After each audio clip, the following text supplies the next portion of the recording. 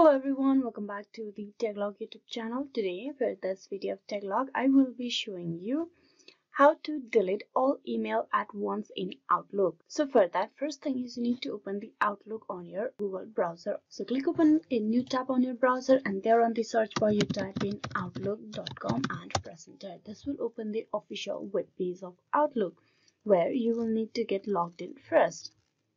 Now once you're at the inbox section, you need to select the mails that you want to delete. That is all the mails that you have on Outlook. For that, all you have to do is click on this checkbox over here. Click that. This will select all the mails that you have in here. Now once you click that, you will have this option pop out on the bottom and from there you need to click on empty focus.